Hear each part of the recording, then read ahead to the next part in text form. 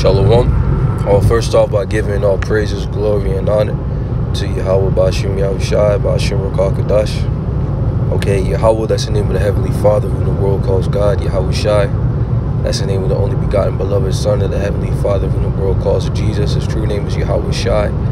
All right, and these are the names you have to call upon in order to be saved and delivered. Okay, double honor to the apostles and the elders of great millstone who well and was taught us this truth. Shalom wa barakim la bakarim, which means peace and blessings unto the elect. All right, because the elect of the nation of Israel, which are you so-called blacks, Hispanics, and Native Americans, are going to be saved and delivered in this upcoming destruction in the midst of World War III. All right. Um, but I was meditating on the fact that the Lord is going to deliver us um, from this flesh, this sinful flesh. Uh, so I'm going to a few scriptures to edify that point, man. I'm going to start off with Jude. This is Jude, the first chapter is only one chapter, and verse 6. It reads, it says that, And the angels which kept not their first estate, but left their own habitation. Okay, and the angels that it's talking about, it's talking about uh, the Alahayim, all right, or the elect. Okay, because um, really, before we came on the earth, we were we were angels because we were in the spirit world. All right, but what we left that habitation and we came onto the earth, and what did we come in the earth in these these bodies, man? All right, it says he have reserved an everlasting chains under darkness until the judgment of the great day. All right, and these bodies represents chains of darkness, right, because these bodies were subject to sin. All right, these bodies were made to go off. All right, it says unto the judgment of the great day, because when Yahweh Shim Yahushua, when Yahushua returns to bring forth judgment, all right, during that great day, that's when the Lord is going to actually change us out of these vile bodies okay and we're going we're going to have angelic like bodies but they're going to be extraterrestrial because we're going to be able to dwell on the earth because the kingdom of heaven is going to be on earth all right now let me get this romans real quick because i said uh, this is romans chapter 8 and verse 20 it says for the creature was made subject to vanity. All right and we're the creature because we were created. We're made subject to vanity or we were made subject to going off man. All right because we're in these these chains of darkness we're in these fleshly bodies. It says not willingly by reason of him who have subjected the same in hope. All right it wasn't our will to to be going off and to, all right but it was the will of the lord all right to put this put us in this predicament all right so we could be humble and we could hope for change all right and change is gonna come man all right call lord y'all bashing out shy all right because he's gonna change us okay and we're gonna be like him all right, if the spirit allows, I'll get that that scripture. All right, but this is Romans chapter seven, and um, I'll start at verse twenty-one. It says, "I find then a law that when I would do good, evil is present with me." All right, because the scriptures say the spirit indeed is willing, but the flesh is weak. All right, here it is. We want to do the right things. We want to. We're, we're, we're men of the Lord. All right, we believe in the truth, and we want to please the Lord at all times, man. But we simply can't because we're in this flesh, man. All right, so it says, even though we want to do good, evil is present with me. It says, for I delight in the law of the Most High after the inward man, but I see another law in my members, warring against the law of my mind. All right, because there's two minds. We got the, the, the fleshly heart, all right? We got the, the carnal mind and we got the spiritual mind, okay? And they they war against one another, man. All right, here it is. We want to do good, but then you got that, that carnal mind, all right, trying to oppose you, okay? It says, warn against the law of my mind and bringing me into captivity to the law of sin, which is in my members. O wretched man that I am, who shall deliver me from the body of this death? All right, and call all Allah Yahbashim Yahushai because the Lord is going to deliver us from this body of death. All right, and this body is of death because if you go off, it's going to lead to death, man. Sin equals death. All right, and this body was subject to sin. All right, it says, I thank the Heavenly Father Yahweh through Yahweh Shah Mashiach, our Lord so then with my, the mind, I myself, I myself serve the law of the Most High, but with the flesh, the law of sin. All right, but the Lord, He's going to deliver us from this, from this actual sinful flesh, man. All right, so that's a beautiful thing. Let me get this in uh, Hebrews.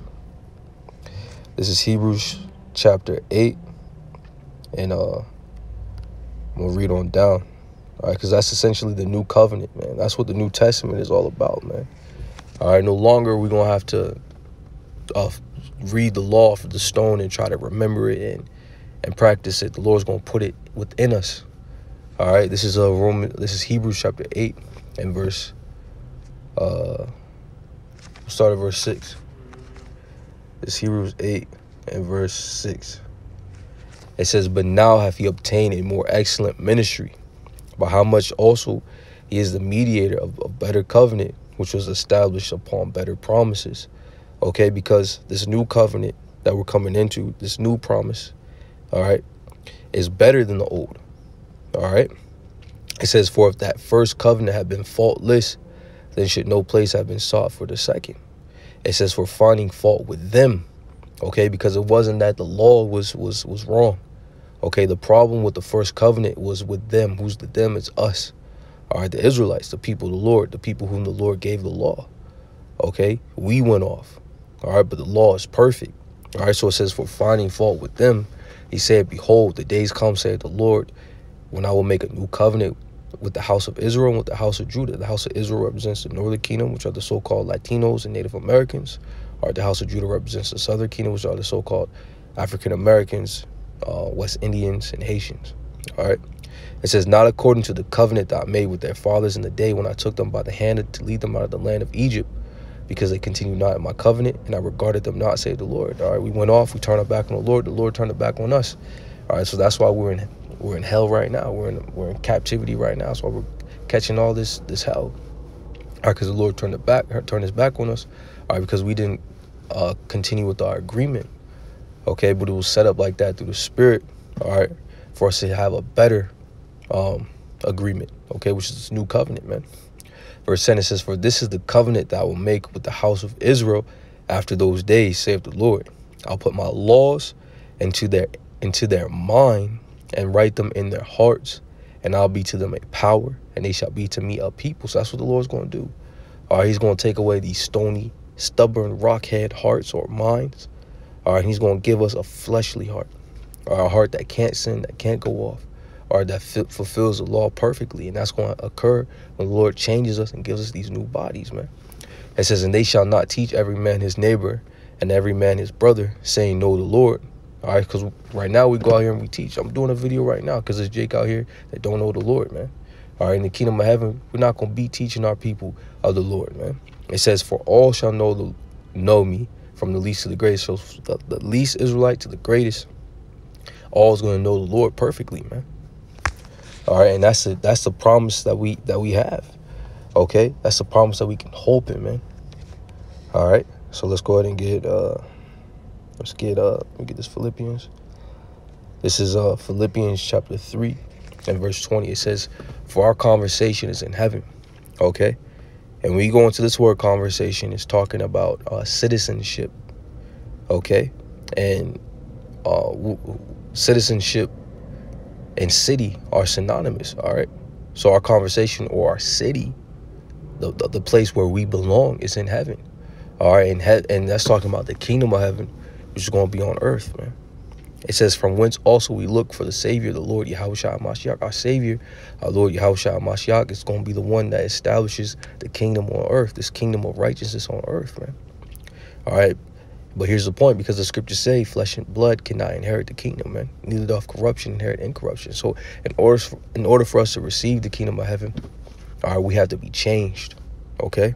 And that's what we're looking for. That's that's our hope.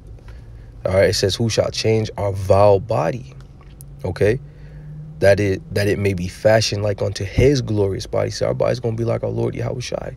See, Yahushua came on the earth two thousand years ago and he didn't sin. All right, he condemned sin in the flesh okay and he and he sacrificed his life all right so through his sacrifice we're able to be redeemed back to the lord and we're going to be able to receive the same body that our lord is in all right just as our lord didn't go off we will never go off right it says according to the work according to the working whereby he is able even to subdue all things unto himself all right so let me get this first john and then uh i'll close it on this all right lord's will this is edifying this is first john chapter 3 and verse 1 it says, Behold, what manner of love the Father hath bestowed upon us, that we should be called the sons of the Most High. Therefore, the world knoweth us not because it knew him not. All right. So we're actually, we're the Israelites. That's what Israel means. Yasha Allah. He is the Prince of God. All right. And what manner of love is that, man? That we're the people of the Lord, man. All right. Verse 2, it says, Beloved, now are we the sons of the Most High, and it doth not yet appear what we shall be. Meaning, we're still in these ordinary bodies, man. Okay. And it doesn't appear what we shall be. It says, But we know that when he shall appear, who's that he? That's Yahweh Shai, man. All right. It says, When he shall appear, we shall be like him for we shall see him as he is. So we're going to change just like our Lord has changed. Okay, our Lord Yahweh is in the heavens right now in his glorified body. All right, and we're going to be we're going to be changed into those glorious bodies as well when he returns. Okay, but it doesn't appear that it's going to be that way, but that's the mystery. All right, and verse 3 says, And every man that have this hope in him purifieth himself even as he is pure. And this is what keeps us pure, man. So it keeps us holy, clean, and separate, hoping in this promise, man all right, that the Lord is going to deliver us from these bodies and he's going to give us a new one. All right, that can never go off. All right. And there when we're in a body that never goes off, the, the Lord is always going to be with us. He's always going to be present with us. All right, so Lord's will, this is edifying call hello. Yahweh Bashim Yahushai Bashim Kakadash. Double honors to the apostles and the elders of Great Millstone of Root Well. Shalom, wa barakim, la bakarim, peace and blessings to the elect. Shalom.